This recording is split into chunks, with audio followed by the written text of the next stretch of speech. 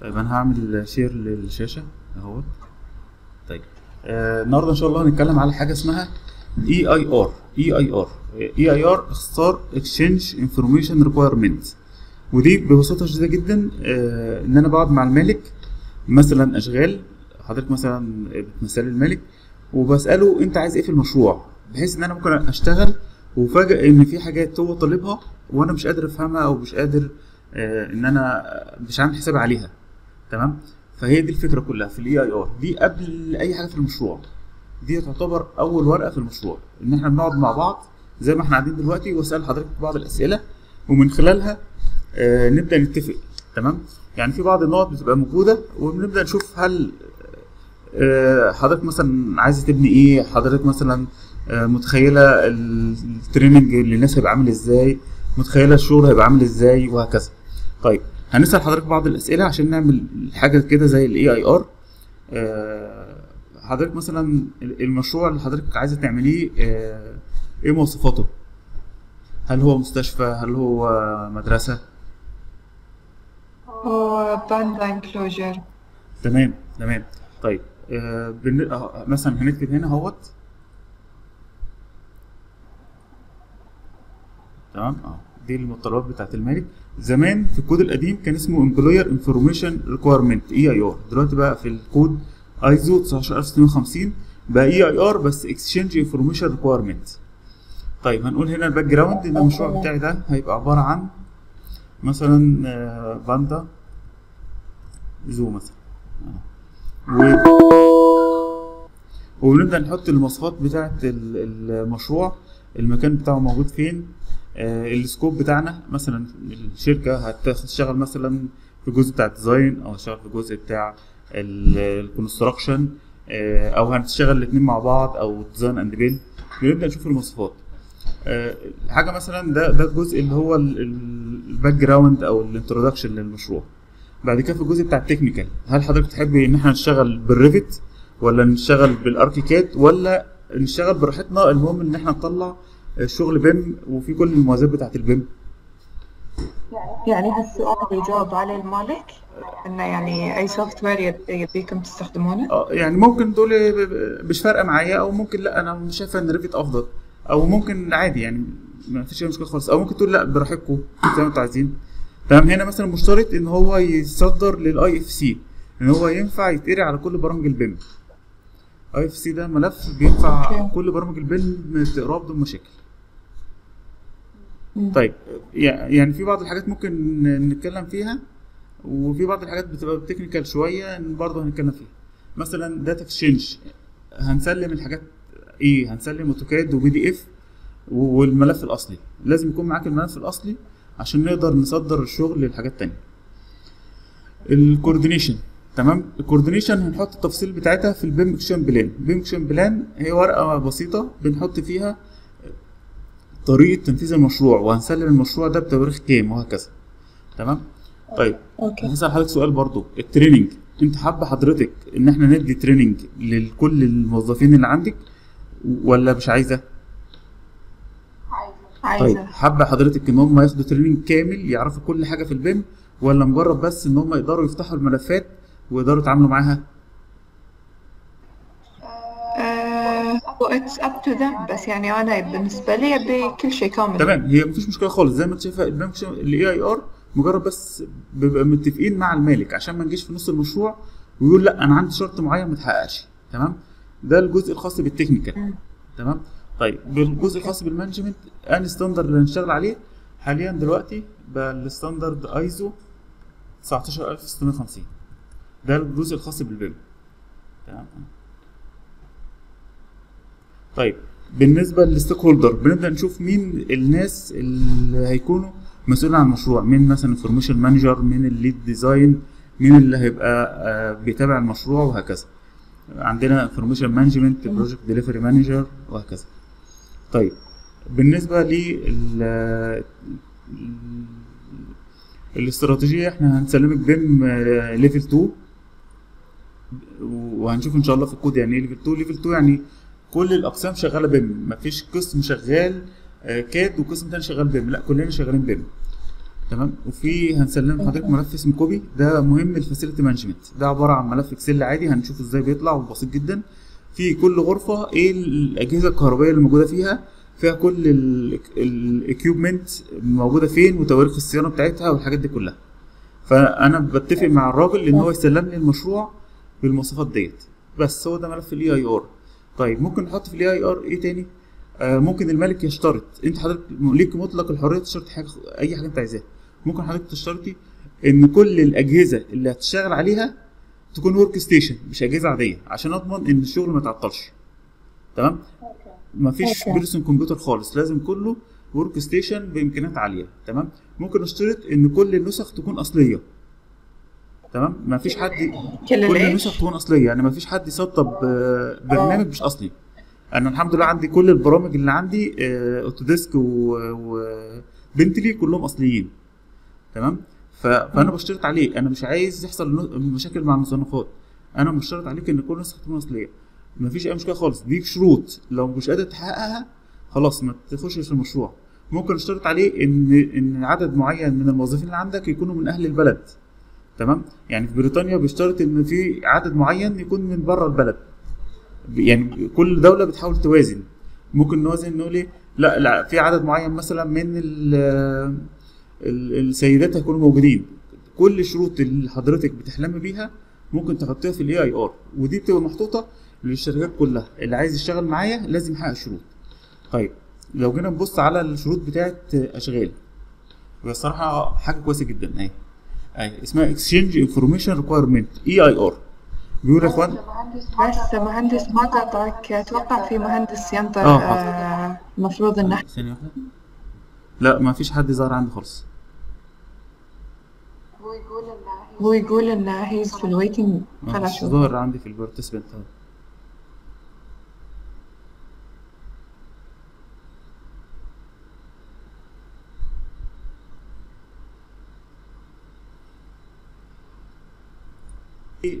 وثيقتين مهمين قوي. في وثائق كتير هنشوفه مع بعض بس هم أهم حاجات عشان نبدأ المشروع بتاعنا ال EIR وال BIM execution plan ال EIR هي exchange information requirement إيه اللي الملك عايزه؟ من الشخص اللي هيعمل له خدمة ال BIM. وال BIM execution plan بتشرح بالتفصيل هنعمل الموضوع ده إزاي. فال EIR ممكن تبدأ قبل ال tender خالص المالك بيقول هذا في ال contract باش ده في ال contract آه في ال contract بيبقى فيه ال contract بنتفق على ال- التفاصيل القانونية وحاجات زي كده. ال exchange information requirement قبل أيوة، ال contract بنقول له والله اللي عايز يشتغل معانا يبدأ يعمل لنا الجزء دوت ال EIR طيب ال BIM execution plan بتتعمل اتنين. بنعمل واحدة قبل ال contract وواحدة بعد ال contract قبل ال contract بنقول لو إحنا اشتغلنا مع بعض هنشتغل مع بعض إزاي؟ بالتفصيل بتاعتها. اللي بعد ال contract بنبدأ نحط تفاصيل أكتر. بنبدأ نحط تليفونات الناس اللي هتشتغل في المشروع ال key person بحيث لو حصل مشكلة مع القسم المعماري أتكلم مع مين؟ مع القسم الانشائي أتكلم مع مين؟ وهكذا. الورقتين دول مهمين جدا. ممكن أنا أعمل شغل ال BIM 100% وأبعته لحضرتك تمام؟ أو ال- ال- الباشمهندسة فاطمة وتقول لأ أنا مش موافق عليه مش هو ده اللي أنا عايزه. فأنا مش فاهم إيه اللي هي عايزاه. فأنا أطور في الشغل بتاعي. وهي كل اللي هي عايزاه مثلا إن يكون في آه، الجزء الخاص بالكوبي بس أنا عمال أطور في الشكل وعمال أطور في ال visualization وهي مش هو ده اللي هي عايزاه. فلو أنا فاهم إحنا عايزين إيه وكلنا متفقين عليها بيبقى الموضوع أسهل. فورقة ال EIR ديت ممكن آه، أجي أبص لا ده أنا مش هقدر أعمل الحاجات دي. فاعتذر عن المشروع من أوله. أو لا ده أنا محتاج إن أنا أعين resources عشان يعملوا الجزء دوت. فال EIR بتحل مشاكل كتير قوي أنا في مشروع كبير كان مع أشغال والشركة قعدت كذا شهر مش قادرين يتفقوا مع بعض. فلما قالوا لي تعالى وكده اكتشفت إن مفيش EIR ومفيش BIM execution plan. فامتى أقول إن أنا سلمت BIM؟ يعني لو أنا اديت لحضرتك موديل 3 دي هل هو ده ال BIM؟ لا ده في clash ات كتيرة مش هو ده اللي أنا عايزه. لا ده أنا عايز visual visualization مش مش هو ده اللي أنا عايزه. فال EIR هيخفف المشاكل اللي ممكن تحصل نتيجة إن إحنا مش متفقين. تمام؟ فإحنا شفنا واحدة بسيطة خالص EIR بسيطة خالص تمام؟ بتتكلم بس إيه إن كل واحد يكتب ال- المالك يكتب إيه اللي هو عايزه في المشروع. ده قبل ال contract خالص. تمام؟ طيب بتاعت أشغال آه، قوية جدا من أقوى ال EIR اللي موجودة حقيقة.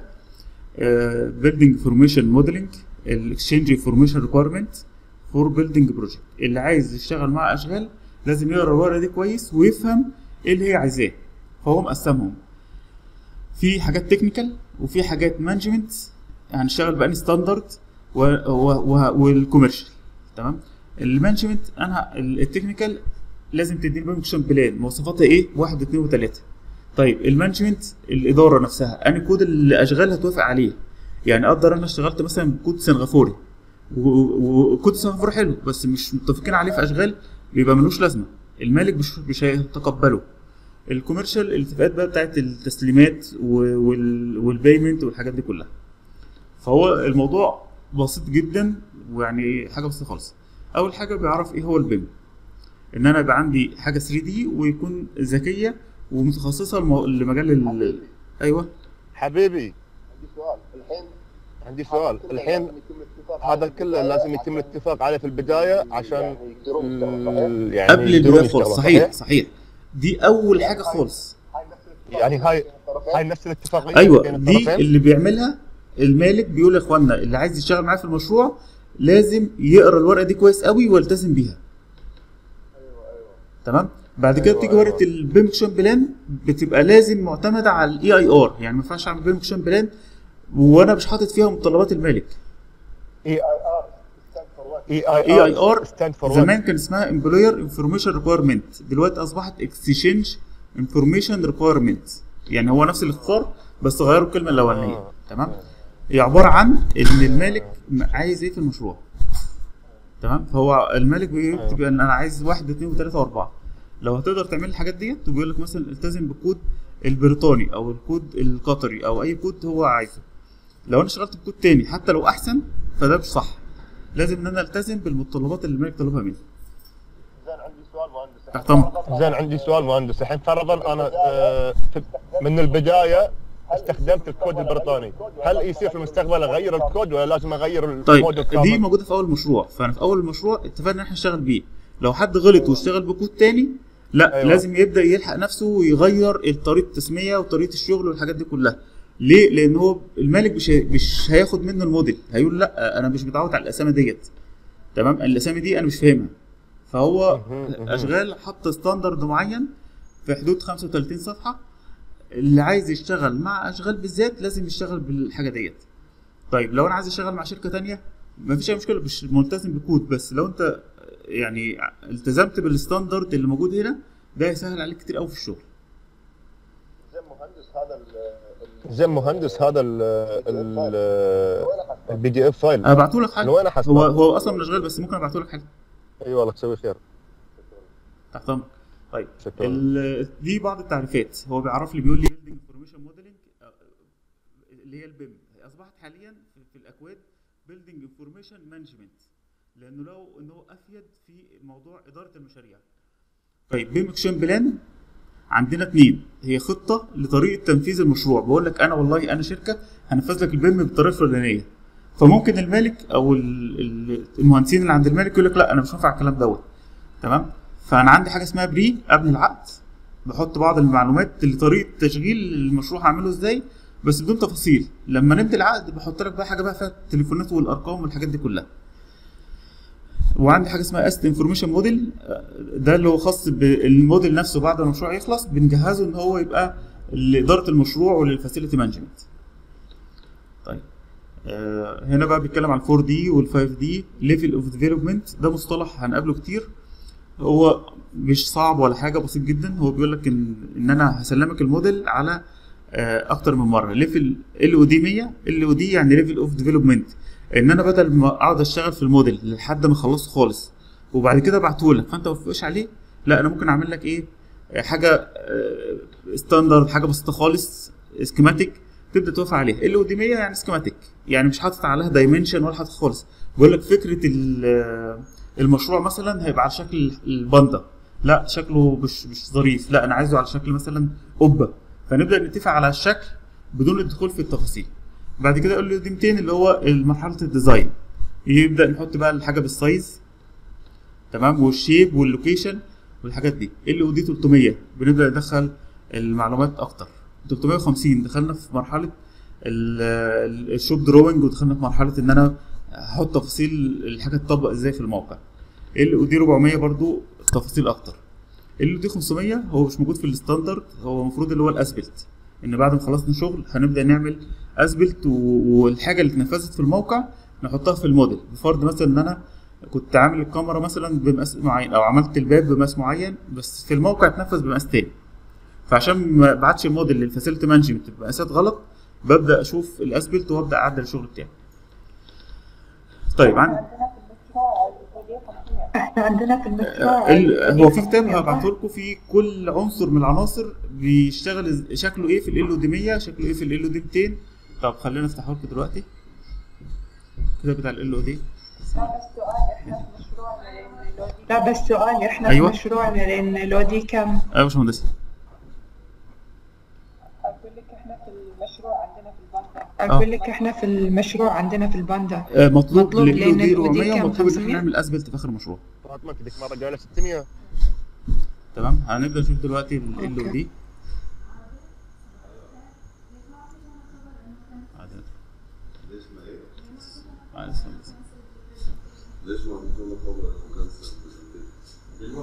طيب. هو ده ال ال أو دي 12 دقايق تمام. كل عنصر هنسلمه ال أو دي كام؟ صح الصوت الصوت بس الصوت في شيء قديم ال أو دي. لا لسه ما على حسب كلامي مع تقدير امبارح إن في كتاب اسمه ال أو دي فورم ده كتاب فيه كل حاجة خاصة بال LOD. لو سمحت أنا معايا meeting معايا meeting معلش معايا meeting خلاص يعني ويعني الصوت بس والله. ويعني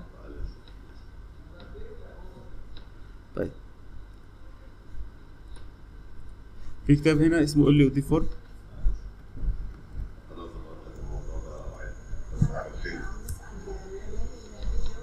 أهو ده الموقع بتاعه. بي... كل عنصر من العناصر بيبدأ يقول لي إن شكله في ال أو دي 100 هيبقى كذا في ال أو دي 200 كذا. والكتاب مجاني هبقى أرفعه لكم إن شاء الله. ده هو ده آخر حاجة. كل عنصر من العناصر بيبدأ يقول لي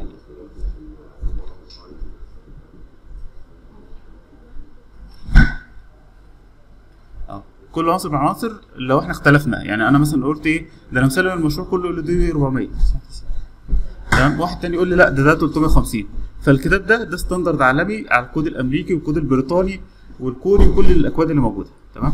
طيب نرجع لل ال EIR بيشرح فكرة ال BIM الكوبي المصطلحات اللي إحنا ممكن نختلف عليها.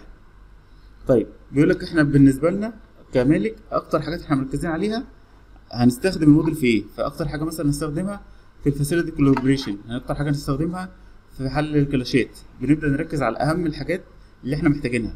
ممكن حد تاني يقول لا ده أنا بالنسبة لي عايز أعمل آه، فنادق فعايزها تتباع فعايز أعمل augmented reality أو virtual reality مطلق الحرية إن أي حد يزود في الأهداف بتاعة المشروع خاصة بالمشروع. project BIM use requirement إيه ال requirement المطلوبة؟ تمام؟ الاستخدامات في كل مرحلة. يعني أنا في مرحلة ال design review أنا مهم بالنسبة لي site analysis مهم بالنسبة لي design option طب في ال coordination مهم بالنسبة لي 3 D coordination ال virtual mock-up ال virtual method statement الجي سيس في مرحلة ال construction أنا هركز على الحاجات ديت. في مرحلة ال engineering analysis بركز على الحاجات دي. كل مرحلة إيه الحاجات اللي أنا هركز عليها؟ هنيجي على مرحلة مثلا ال asset handover هركز على ال as-built BIM وال field BIM asset management أهم حاجة بالنسبة لي تديني موديل ينفع إن هو يشتغل AIM asset information modeling وتديني ملف COBie وده ملف Excel سهل جدا وهنبدأ نشتغل عليه إن شاء الله واحدة واحدة. هنا بقى بيتكلم على كل مرحلة إيه الحاجات ال- اللي بالنسبة لي بتكون مهمة تسلمها لي. عشان تقول لي أنت سلمت BIM لازم تكون مسلم لي كذا. ال contractor لازم يطور الموديل في الاركتكشر والاستراكشر والانتيريور ديزاين والانفرا واللاندسكيب وهكذا. تمام؟ طيب. دي كل المتطلبات اللي مطلوبة. مثلا لازم تعمل لنا 3D interface coordination لل wet and dry وهكذا. في حاجات معينة لازم تتعمل عشان نتقبل منك ال- المشروع. لازم تديني مثلا ال model element data لازم تديني bill of quantity لازم تديني مثلا وهكذا. دي المتطلبات اللي لازم تكون موجودة في المشروع. هل في متطلبات خاصة؟ دي بقى المتطلبات الخاصة اللي انت ممكن تكتبها هنا بقى براحتك. مثلا لازم تديني ال model LOD 500 ويكون عامل laser scan ممكن تقول لا laser scan مثلا غالي فمش محتاجه. تمام. في الجزء بتاع ال technical بيقول لك اعمل لي BIM execution plan ويكون فيها الحاجات دي كلها. طيب. آه، باشمهندس أحمد معايا؟ باشمهندسه فاطمة؟ ألو؟ آه تمام. طيب. ال BIM execution plan هي خطة أيوة. تنفيذ. المشروع. فاحنا بنقول إيه؟ إيه الحاجات اللي لازم تكون موجودة في ال BIM execution plan عشان أقبلها؟ لازم تكون كاتب لي معلومات عن المشروع عشان أعرف إن أنت عاملها المشروع ده بالذات. معلومات عن ال contract information و milestone إن التسليمات هتبقى إمتى؟ milestone يعني مثلا التسليمة الأولانية هتبقى اللي هي مثلا LOD 100 أو 200 أو 300 اللي هي مثلا ال schematic ومرحلة ال design وال- وال shop drawing هنسلمها مثلا بعد أربع شهور بعد شهرين وهكذا. ال key project person الناس الأساسيين في المشروع. تمام؟ يعني هنكتب مثلا الباشمهندس أحمد مسؤول عن كذا الباشمهندس فاطمه مسؤول عن كذا. فنبقى عارفين نرجع لمين؟ في لما تحصل مشاكل لا قدر الله. إزاي هتعمل 3D coordination process إيه المراحل اللي أنت هتعمل فيها coordination بتحل لي المشاكل؟ وإيه ال software اللي أنت هتستخدمه؟ shop drawing extracting process لازم كل اللوح اللي هتطلع shop drawing تكون طالعة من الموديل. ما ينفعش تبعت لي shop drawing وانت عامله على ال AutoCAD وبعت لي موديل والاثنين غير بعض خالص. طب أنا هشتغل بأنهي واحد فيهم؟ ما ممكن يكون ال 2D فيه معلومات أكتر بس في clash ات. فدي لازم إيه بنبدأ نشوفها. task information delivery plan وال MIDP دي عبارة عن جدول. آه هوري لحضرتك دلوقتي. إيه،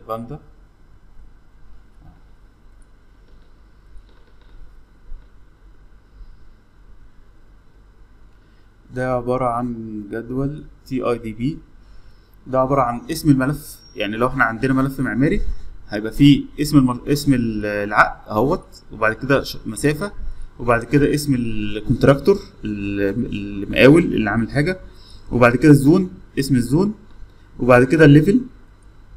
طبعا هنا الموديل كله level واحد فمسمينها AL وال level. ولو أنا عندي آه، model M 3 أو M M 2 يعني موديل 3 دي هسميه M 3 وال discipline عندي architecture عندي تكييف عندي IT بحيث إن أنا أشوف الملف من بره أعرف المعلومات بتاعة المشروع. فده ملف لازم يتعمل وكتب قدام كل واحد فيهم تاريخ التسليمات بتاعته. بحيث لو جه يوم مثلا آه، 13 أكتوبر والحاجة ما سلمتش آه لا ده في مشكلة كده ونبدأ إن إحنا نتناقش فيها. فده ملف مهم جدا من الملفات إن هو يتعمل. وكل الحاجات سهلة وكلها موجود template بيبقى فاضي وبنبدا إن إحنا نحط ال- المعلومات اللي موجودة فيه ال training plan لازم تكون موجودة. طب أنا هدرب الناس إزاي؟ طيب هنا بقى بنبدأ نشوف. آه، أنت هتعمل لي ال LOD 100 200 300 هتعمل تستخدم انهي software تمام؟ ولازم تديها لي بالملفات ديت. تمام؟ هو طبعا المفروض يعني إنها تبقى مفتوحة إن أي حد عايز يشتغل بأي برنامج يعمله بس يسلم في الآخر IFC تمام؟ أو الشركة نفسها بتشترط إن أنت لازم تعمله لي Revit طيب لو انت هتعمل لي analysis report ممكن تعمل لي تقرير بشكل خاطئ فأنا مثلا ممكن اشترط عليه برنامج معين أو أسيبه. اعمل لي analysis report باللي انت عايزه بس المهم تدوا لي ملف Excel 3D coordination model بقول له اعملوا لي برنامج اسمه Navisworks وادوا لي ملف NWD دي الفكرة إن أنا بيبقى عندي كل حاجة إيه الأفضل حاجة اللي أنا آه، أقدر أراجع عليها وأتأكد إن الحاجة دي شغلها مظبوط. تمام؟ هنا بقى ممكن أبدأ أشترط بقى أقول له مثلا ده أنا عايز ال software اللي تشتغل بيه يكون فيه الشروط الفلانيه يكون مثلا ال model viewer تقدر تراجع الموديل تقدر تقرأ ال point cloud وهكذا.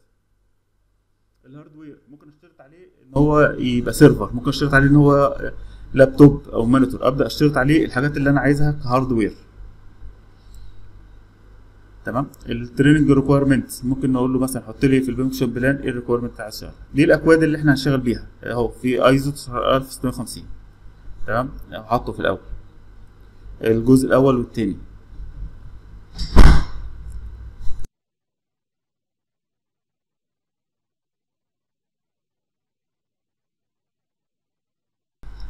ده ال project BIM manual. ده بيبقى فيه تفاصيل لكل model ال location بتاعه والاسم بتاعه وال project browser organization والملفات بتاعت ال CAD.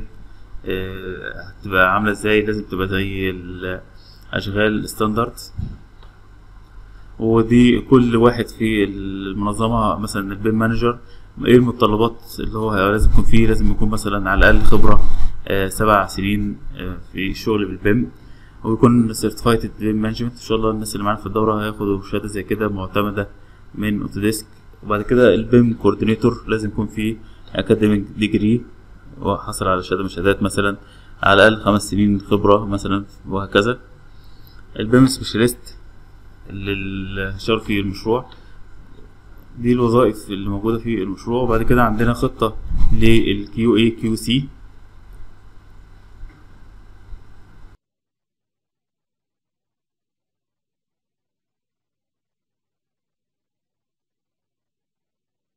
بس شنو هي الخطة اللي يسويها عشان يشوف إذا ال BIM صح ولا لأ؟ أنت وقت تقول إن إذا سلموك ال BIM لازم تكون عندك خطة عشان تتأكد إن كل شي تمام. آه تمام فال QA؟ QC بنبدأ نتأكد إن إن إحنا نقدر نكتشف الأخطاء بأكتر من طريقة بنقدر نعمل check على ال- ال model وال BIM process بنقدم إحنا QA QC أو بنقدم BIM quality management plan تشرح فيهم طريقتنا في حل ال- ال- المشاكل واكتشاف المشاكل. وفي برامج قوية جدا في الموضوع دوت. فايه البرامج اللي إحنا هنستخدمها. ممكن مثلا أقول إن أنا هعمل ال clashات بين مثلا العناصر المختلفة. هخلي المسافة بينهم آه، واحد مليمتر. فممكن الميكانيك يقول لا ده أنا عايزها واحد سنتي. أو العكس. فأنا بقدم اللي أنا شايف إن هو صح ونبدأ نتشاور فيها. ونشوف هل هي آه، موافقة للحاجات ولا لا. نفتح كده ده ال BIM manual وده ال BIM quality هنلاقي عندي QA QC تمام؟ وعندي ال الحاجات الخاصة بال management نبدأ نشوف إيه الحاجات اللي أنا ههتم إن أنا أفحصها في كل مرة بحيث أتأكد إن الموديل بتاعي آه، سليم. إيه الحاجات اللي أنا عاملاها QA QC ودي بقى ال BIM quality management plan ببدأ أقول إيه الحاجات اللي أنا هبدأ أفحصها وأتأكد إنها آه، فيها آه، مشاكل أو كذا. ودي مثلا process معينة إن أنا متنقلش من حاجة لحاجة تانية غير لما أتأكد إن الحاجة بتاعتي سليمة مفيهاش مشاكل. دي كل ال phases الموجودة هنا أكتر من طريقة لكشف المشاكل. عندي مثلا visual check هبدأ أفحص الموديل بنفسي. ممكن أعمل walkthrough ممكن أتأكد من برامج زي ال Navisworks ممكن أستخدم برنامج متخصص زي ال Solibri يقدر يقول لي في قاعدة معينة مثلا مثلا ال- الشباك أصغر من المساحة اللي المفروض إنها تكون موجودة. مثلا إن الحمامات مش في آه، واخد اتجاه القبلة فده غلط تمام؟ أو إن ال- المسجد مش واخد اتجاه القبله وهكذا. تبدا تح- حاطط فيها آه، كذا آه، حاجة ممكن حاجات خاصة بالمعماري والشيء والكهروميكانيكال.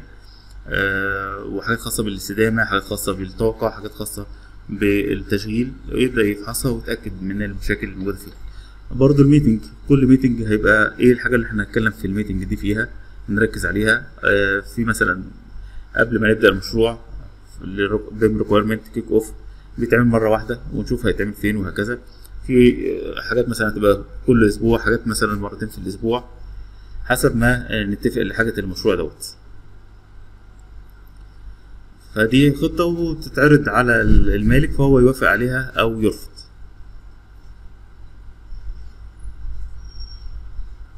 ده delivery strategy of asset information هنسلمه إزاي؟ ال BIM ownership الملكية بتاعت الموديل هتبقى لمين أصلا؟ عشان دي ساعات بيحصل عليها اختلافات جامدة جدا. ال deliverable في كل مرحلة هتسلمني إيه؟ يعني إحنا لسه في أول مشروع فمش منتظر منك موديل منتظر منك تسلمني BIM شيب plan quality management ال BIM manual عشان أشوف هل أنت قادر تعمل لي الحاجات دي ولا لأ؟ في ال pre-design هتسلم لي مثلا موديل أساسي مثلا هتسلم لي ال- ال laser scan للمنطقه نفسها اللي حواليك pre-design model وهكذا. ال concept design هتبقى تسلم لي مثلا LOD كام وهكذا. كل مرحلة بنبدأ نشوف إيه الحاجات اللي إحنا هنشتغل عليها. في مرحلة ال construction ما ينفعش تيجي في مرحلة ال construction وتقول لي هسلمك LOD 300 لأ إحنا خلاص عدينا المرحلة دي. لازم تسلم لي مثلا LOD 400 اللي تسلم لي BIM uses analysis ال 4D في ال handover. آه، خلاص إحنا وصلنا مثلا لل as-built monthly كل شهر المفروض مثلا هتعرض عليا إيه وهكذا. دي بخصوص ال payment وبعد كده في BIM tender response في كذا ملف المفروض إن اللي عايز يشتغل في المشروع يبدأ يقدمهم.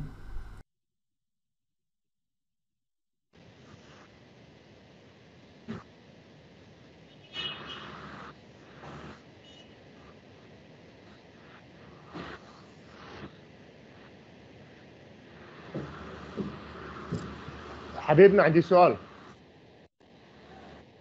بخصوص ال payment الحين إذا أنا المشروع عندي يا BIM المقاول يقدم لي ال payment على ال BIM ويراجع على الاستشاري وأنا ك client أشغال اعطيه approve كله عن طريق ال BIM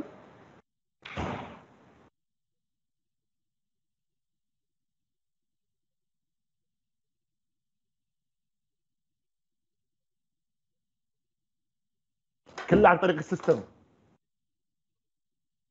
كله عن طريق ال system. ال system ال BIM.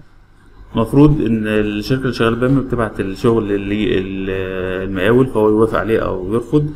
لو وافق بيبدأ إن هو يبعته للمالك ويبدأ نبدا نشوف ياخد approval تاني من المالك. وطبعا النسب دي مش ثابتة دي بتختلف من مشروع لمشروع حسب الاتفاق. يعني ممكن يتفقوا أكبر أقل زي ما هم عايزين زي ما هم يتفقوا. دي بقى ال tender response نبدأ نشوف إيه الحاجات اللي لازم نقدر من خلالها نعرف إذا كانت الشركة دي تعرف تعمل شغل ولا لأ. شغال كان شغال إيه؟ وتشوف يعني لو من الأول خالص كده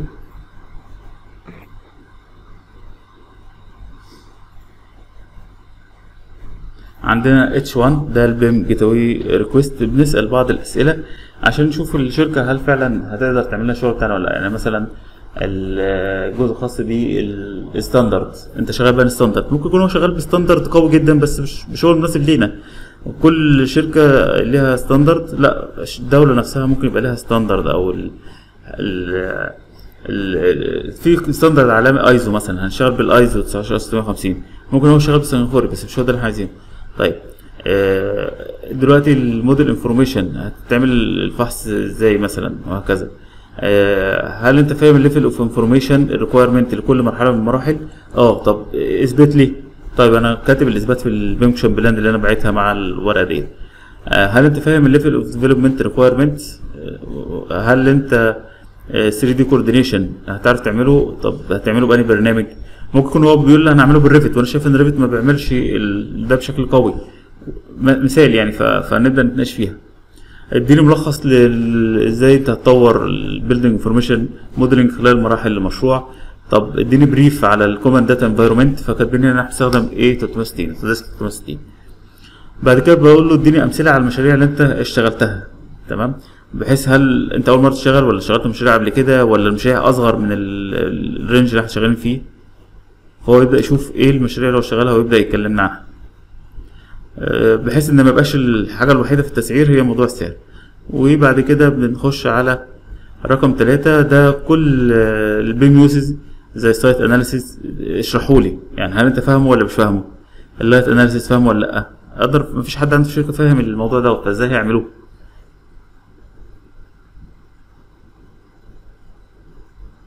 ال 4D مثلا اشرحوا لي. كل حاجة يبدأ يشرح لي هي عبارة عن إيه.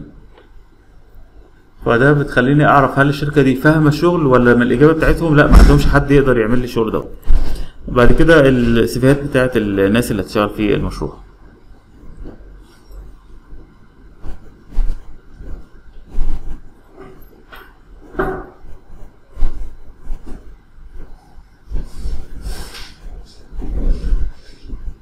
لا لا والله interesting الموضوع. آه، تمام. طيب آه، دلوقتي هنبدأ نشوف مع بعض آه، مثال بسيط جامد خالص مثال بسيط على ال BIM execution plan قبل وبعد العقد. يعني قبل العقد بنعمل حاجة بسيطة خالص وبعد العقد بنبدأ نزود بس بعض التفاصيل. فده pre-contract building information model BIM execution plan. ده حاجة قبل العقد خالص فلازم نكتب طبعا اسم المشروع العنوان بتاع المشروع الرقم المشروع والتاريخ. مجرد بس آه، معلومات عن المشروع عشان تبقى BIM execution plan دي للمشروع دوت. وبعد كده document control sheet ده ال version رقم واحد أو اتنين أو تلاتة وتاريخ كذا. وبعد كده ندخل في ال project team مين الفريق ومن أي شركة وهيبقى عبارة عن إيه ال roles بتاعته. اللي هم ال key person بتاع المشروع. بس هنا مش كاتبين لا الإيميل ولا التليفون. ده لما نمضي العقد خلاص هبدأ أقول لك إن الشخص ده هو ده المسؤول عن المشروع دوت معلومات عن المشروع المعلومات اللي موجودة في ال EIR لازم تكون موجودة هنا. بدل ما يبقى عندنا وثيقتين لا خلاص هي ال BIM execution plan فيها كل ال EIR اللي مطلوب. لو في حاجة special في ال collaboration في ال health وهكذا نبدأ نحطها. ال project implementation plan الخطة بتاعت التطبيق التشغيل ال software اللي هنشتغل بيه ال exchange ممكن تقول مثلا الموديل هديهولك مثلا Revit أو هديهولك ArchiCAD أو هديهولك IFC ال drawing ممكن تقول له DWG أو DGN اللي هو بيطلع من ال MicroStation وال AECOsim وبرامج بنتلي زي ال road ال OpenRoads وهكذا. ال supplier تبدأ تشوف ال resources هنا ال project goal الأهداف for collaboration and information modeling وأنا بقول لك إن أنت لازم تكون تابع لكود ال BS 2092 ال milestone اللي هي التسليمات الأساسية في المشروع و project information model delivery strategy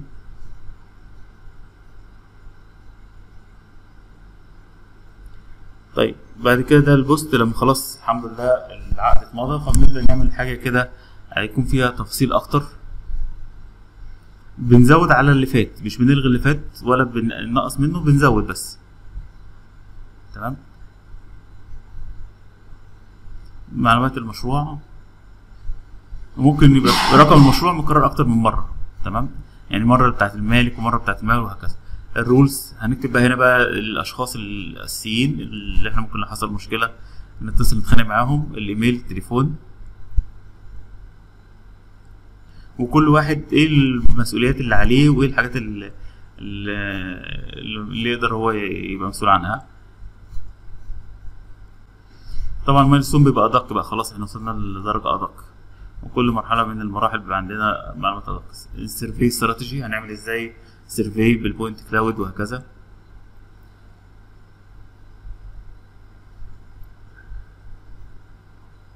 تمام. الاجري project.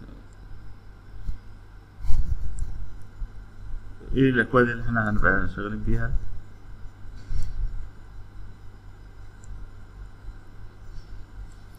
طبعا ده standard ممكن الناس تزود عليه أو في جزء مثلا تحذفه.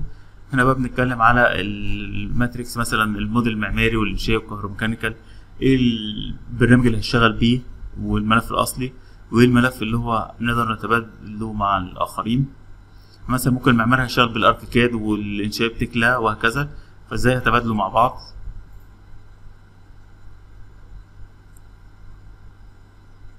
حسب مراحل المشروع المختلفة.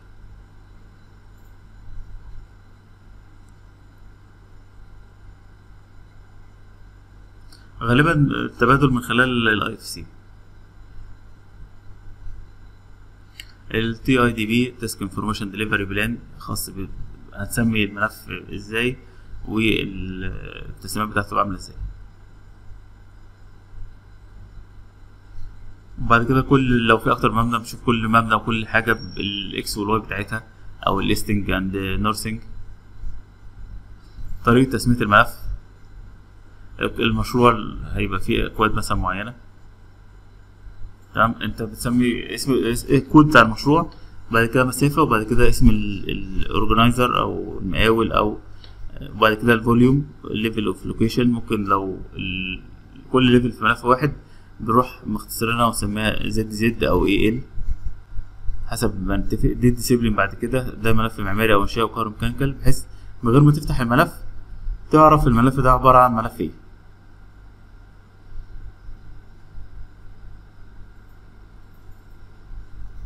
بحيث ان ال BIM plan تبقى كل لو عندنا 20 شركة شغالة في في ال BIM في في المشروع دوت كلهم شغالين بنفس ال standard ونفس الاتفاقيات وكل حاجة.